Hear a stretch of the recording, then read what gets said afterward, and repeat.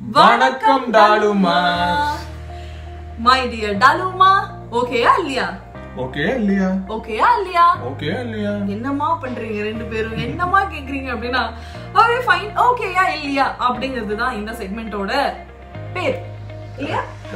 Okay and இது வந்து review பண்ண போறோம். என்னது? நீங்களும் படத்தோட ரிவ்யூ ஸ்டார்ட் பண்ணிட்டீங்களா அப்படின்னு கேட்டீங்கன்னா not exactly that way actually படத்துக்கான ரிவ்யூஸ்லாம் கொடுக்கலாமா அப்படின்னு சொல்லிட்டு என்னுடைய இன்ஸ்டா பேஜ்ல நான் ஸ்டோரியில நம்ம டார்மாஸ் கிட்ட ஒரு குட்டி சர்வே மாதிரி எடுத்திருந்தேன். அண்ட் அதுல எயிட்டி பர்சன்ட்டுக்கு மேல. அதாவது ஓகேயா இல்லையா ரிவ்யூ அப்படின்னு சொல்லி நான் கேட்டிருந்தேன். அதுக்கு என்ன சொல்லியிருப்பாங்கன்னு நினைக்கிறீங்க? என்ன சொல்லிருப்பாங்க ஓகே இல்லையான்னு சொன்னாங்க ஓகேன்னு சொன்னாங்க. சோ அதனால நாங்க இதோ ஸ்டார்ட் பண்ணியாச்சு. ஓகேயா இல்லையா அப்படிங்கறது. சோ படங்கள் ஓகேயா இல்லையா அப்படிங்கறது. இதுல நாங்க சொல்லக்கூடிய ஒரு சில முக்கியமான ஒரு டிஸ்க்ளைமர் பாயிண்ட்ஸ் இருக்கு. அதை நம்ம சொல்லிடலாமா? சொல்லிடலாமா எஸ் ஆன்லைன் ஸ்ட்ரீமிங் பிளாட்ஃபார்ம்ஸ்ல ரிலீஸ் ஆயிட்டு இருக்கக்கூடிய இந்த சீரீஸ் அண்ட் படங்கள் இதை பத்தி தான் நாங்க உங்களுக்கு சொல்ல போறோம் ஏன்னா ஆன்லைன் ஸ்ட்ரீமிங் பிளாட்ஃபார்ம் ஓபன் பண்ணா எக்கச்சக்கமான படங்கள் இருக்கு. இதுல எதப்பா நம்ம ப்ளே பண்றது அப்படிங்கிற மாதிரி நமக்கு ஒரு கன்ஃபியூஷன் வரும். So, நீங்க ரொம்ப கன்ஃபியூஸ் ஆகாதீங்க. உங்களுக்கு நீங்க ஆன்லைன் ஸ்ட்ரீமிங் பிளாட்ஃபார்ம்ல ரெஜிஸ்டர் பண்ணிருந்தீங்கன்னா அதுல என்னெல்லாம் படங்கள் பார்க்கலாம் என்னெல்லாம் சீரிஸ் வந்து ஒர்த் வாட்சிங் அப்படிங்கறத நாங்க உங்களுக்கு இங்க தெரியப்படுத்திடுவோம். கண்டிப்பா. இதுல இன்னொரு முக்கியமான டிஸ்க்ளைமர் பாயிண்ட் இருக்கு. என்னது? என்னதுன்னா நாங்க பார்க்கக்கூடிய நான்வெஜ் பிளாட்ஃபார்ம்ஸோடைய படங்கள் பத்தி ஒரு சீரிஸ் பத்தின அந்த கதை அந்த கரு என்ன அப்படிங்கறத நாங்க ரிவீல் பண்ண மாட்டோம். சோ தாராளமா நீங்க இந்த ரிவ்யூ பார்க்கலாம். இது பார்த்ததுக்கு அப்புறம் மேபி உங்களுக்கு அந்த சீரீஸையோ இல்ல அந்த ஒரு படத்தை பார்க்கணுங்கிற அந்த கியூரியாசிட்டி தான் அதிகமாகிற மாதிரி இருக்கும். பிகாஸ் நிறைய பேரோட உழைப்பு இதுக்கு பின்னாடி இருக்கு. சோ அதை நாங்க ஸ்பாயில் பண்ணக்கூடாது அப்படிங்கிறதுக்காக தான் இந்த ஒரு டெசிஷன் எடுத்திருக்கோம். ஓகே சோ இப்போ நம்ம டைரக்டா படத்தோட ரிவ்யூ பார்க்கலாமா? பார்க்கலாமா ஓகேயா இல்லையா ஓகே இல்லையா ஐயோ போ அவரை பேசவே விட மாட்டேங்கிறீங்க நீ பேசுவாங்க ப்ளீஸ் ஓகே பொன்மகள் வந்தால் படத்துல இருந்து நாங்க ரிவ்யூ ஸ்டார்ட் பண்றோம். இது வந்து அமேசான் பிரைம்ல மே இருபத்தொன்பதாம் தேதி ரிலீஸ் பண்றேன்னு சொல்லியிருந்தாங்க. ஆனாலும் மே இருபத்தெட்டாம் தேதி இரவே ரிலீஸ் ஆயிருக்கு இது வந்து பல சர்ச்சைகளை தேட்டர் ஓனர்ஸ் வினோஸ்டர் சங்கம் இவங்க எதிர்ப்புகள்லாம் மீறி இந்த படம் ரிலீஸ் பண்ணியிருக்காங்க. ஸோ அதுக்கே பெரிய hats off to Suriya Jyothika அவங்க தான் ப்ரொடியூசர் இந்த படத்துக்கு. ஸோ இந்த படம் வந்து இந்த மாதிரி சர்ச்சைகளை எல்லாம் சந்திச்சதுனாலேயே பெரிய ப்ரொமோஷன் ஆயிடுச்சு இல்லையா மீன்? ஆமா கரெக்ட் சோ இதுலயே வந்து அவங்களுக்கு ஒரு ப்ரமோஷன் ஆக்சுவலி ப்ரமோஷன்லாம் இருந்தது. பட் இருந்தாலும் இந்த ஒரு கான்ட்ரவர்ஷியல் விஷயங்களே இந்த படத்துக்கு வந்து ஒரு ஸ்பெஷல் ப்ரமோஷன் அமைஞ்சிருச்சு. அண்ட் இதனாலே நிறைய பேருக்கு இந்த படத்தை எப்படியாவது பார்த்துடணும் இப்போ ஆன்லைன் ஸ்ட்ரீமிங் பிளாட்ஃபார்ம்ல அப்படின்னு சொல்லி யோசிச்சு நிறைய பேர் இதுக்காக வெயிட் பண்ணிட்டு இருந்தாங்க. அண்ட் சர்ப்ரைசிங்லி மே இருபத்தெட்டாம் தேதி நைட்டே சாய் சொல்ற மாதிரி ரிலீஸ் ஆயிருக்கு.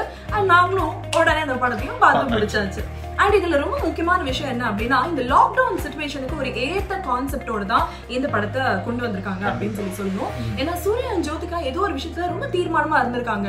அண்ட் இந்த ஒரு டைம்ல இந்த லாக்டவுன் சுச்சுவேஷன்ல நம்ம வீட்டுக்குள்ளேயே நம்ம ஃபேமிலி மெம்பர்ஸ் கூட நிறைய டைம் ஸ்பெண்ட் பண்றோம். குழந்தைங்க கூட நிறைய டைம் ஸ்பெண்ட் பண்றோம்.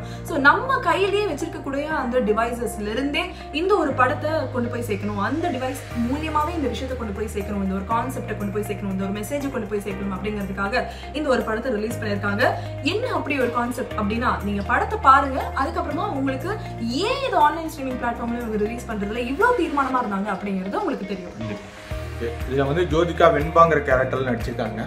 அவங்க அப்பாவா பாக்கியராஜ் சார் ரொம்ப நாளுக்கு அப்புறம் நடிச்சிருக்காரு வெள்ளித்திரையில ஸோ இது உங்களோட Parthiban sir Pandiarajan sir Prathapothen sir Subbu Panchu and Thiagarajan sir ரொம்ப நாளுக்கு அப்புறம் ஆன்டாகனிஸ்டாக பண்ணியிருக்காரு. அவர் கம்பேக் ஃபிலிமாக இருக்கும்னு நினைக்கிறேன். சூப்பர் ஸோ இவங்க போர்ஷன்ஸ் எல்லாமே ரொம்ப நல்லா பண்ணியிருக்காங்க. Jyothika hats off wonderful acting ஆமா கேட்கவே வேணாம்.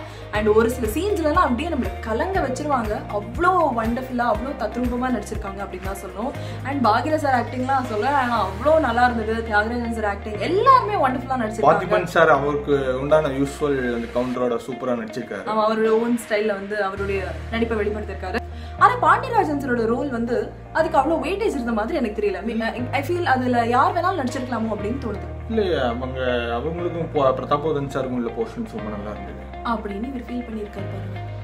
மயில் ஒரு ஃபேக்ட் தெரியுமா? என்னது? இதுல வந்து Bhagyaraj sir Pandiaraj sir Parthiban sir மூணு பேருக்குள்ள ஒரு ஒற்றுமை இருக்கு. என்னது? பாக்கியராஜ் சார் எயிட்டிஸ்ல டைரக்ட் பண்ணும்போது பாண்டியராஜன் சார் இப்போ பார்த்திபன் சார் அசிஸ்டன்ட் டைரக்டரா ஒர்க் பண்ணிருக்காங்க. ஓஹோ. அப்புறம் சுயமரம் படத்துல மூணு பேரும் சேர்ந்து நடிச்சிருக்காங்க. அதுக்கப்புறம் இந்த படத்துல மறுபடியும் ஒண்ணா சேர்ந்து நடிக்கிறாங்க. ஓ that's nice J J Fredrick இந்த படம் மூலியமா அறிமுகமா இருக்காங்க இயக்குனரா. எப்படி ஃபீல் பண்ணீங்க ஆமா ஸ்கிரீன் பிளே எல்லாம் ரொம்ப நல்லா இருந்தது. அறிமுக இயக்குனர் மாதிரியே இல்ல ரொம்ப எக்ஸ்பீரியன்ஸ் இயக்குனர் மாதிரி இயக்கியிருக்காங்க. ஃபிளாஷ்பேக் சீன்ஸ்லாம் ரொம்ப நல்லா இருந்தது. Hats off to Fredrick music director யார் பண்ணியிருக்கான்னு தெரியுமா? எஸ் யாரு? கோவிந்த் வசந்தா ஓகே ஸோ இந்த படத்துல பிருந்தா அவங்க பாடியிருக்காங்க. சிவகுமார் சாரோட பொண்ணு. ஆமா. சின்மயும் ஒரு பாட்டு பாடியிருக்காங்க. ரொம்ப நல்லா இருந்தது. ஆமா. அண்ட் பிருந்தா அவங்க வந்து ரொம்ப சோல்ஃபுல்லா பாடியிருக்காங்க. அவங்களே குறிப்பா சொல்றோம் அப்படின்னா இந்த படம் மூலியமா அவங்க ஒரு சிங்கரா அறிமுகம் வாங்குறாங்க இல்லையா? சோ அதனாலதான். அண்ட் சின்மையும் வந்து ரொம்ப பியூட்டிஃபுல்லா பாடியிருக்காங்க. அவங்களோட வாய்ஸுக்கு என்ன? வண்டர்ஃபுல்லா இருக்கு. ஓகே மை சினிமாட்டோகிராஃபி யார் ஹேண்டில் பண்ணிருக்கான்னு தெரியுமா? நீங்களே சொல்லுங்க. மிஸ்டர் ராம்ஜி இவர் வந்து இதுக்கு முன்னாடி ஆயிரத்தில் ஒருவன் மயக்கமண்ண போன்ற ஹிட் படங்கள்ல ஒர்க் பண்ணியிருக்காரு.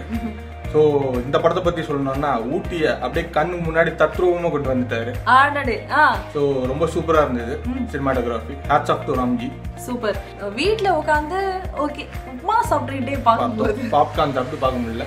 ஆமா உப்மா சாப்பிட்டுட்டே பார்க்கும்பொழுது it was nice and then next editor mister Ruben Bigil விஸ்வாசத்தெல்லாம் work பண்ணியிருக்காரு.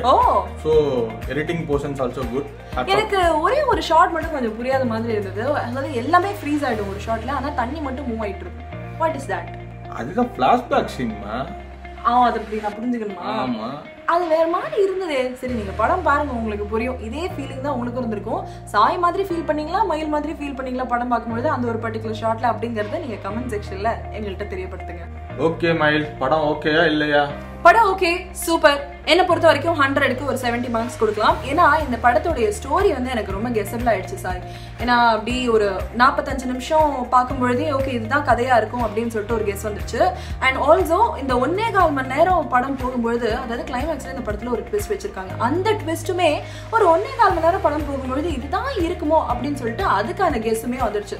ஸோ கெஸபிள் மூவி இந்த ஒரு படம் வந்து ஜானர்லாம் பார்த்தோம் அப்படின்னா இமோஷனல் ட்ராமா சஸ்பென்ஸ் அப்படின்னு வச்சிருக்காங்க. பட் அந்த சஸ்பென்ஸ் ஃபேக்டர் வந்து கொஞ்சம் கம்மியா இருந்த மாதிரி எனக்கு ஃபீல் ஆச்சு. ஓகே நான் வந்து ஒரு 75 ஃபைவ் மார்க்ஸ் கொடுப்பேன் ஸோ இந்த படம் வந்து ஒரு சோஷியல் மெசேஜ் உள்ள படம். அது தவிர ஈஸி கெஸ்டபிளாக இருந்தாலும் கொஞ்சம் விறுவிறுப்பாக போகுது. எல்லா பேரண்ட்ஸும் பார்க்க வேண்டிய படம் இது. ஸோ அதனால கண்டிப்பா பாருங்க. அப்படியே இங்க இருந்து நாங்க கிளம்புறோம். அடுத்தது என்ன வீடியோ அப்படிங்கிறது? சர்ப்ரைஸ் எஸ் அண்ட் நீங்க இந்த ஆன்லைன் ஸ்ட்ரீமிங் பிளாட்ஃபார்ம்ஸ்ல இருக்கக்கூடிய எந்த சீரிஸ் பத்தியோ இல்ல எந்த படம் பத்தி நீங்க வந்து நாங்க ரிவ்யூ கொடுக்கணும் நீங்க ஃபீல் பண்றீங்களோ அதை எங்களுக்கு கமெண்ட் செக்ஷன்ல தெரியப்படுத்துங்க. ஓகே ஓகே நான் கிளம்புறேன். வேலை இருக்கு. எங்க கிளம்புறீங்க? அதை சொல்லிட்டு போ எதுவும் பண்ணுமே சொல்லு ஓகே சப்ஸ்கிரைப் பண்ணுங்க. ஆ? சப்ஸ்கிரைப் பண்ணுங்க. Yes thank you Okay. Bye டரா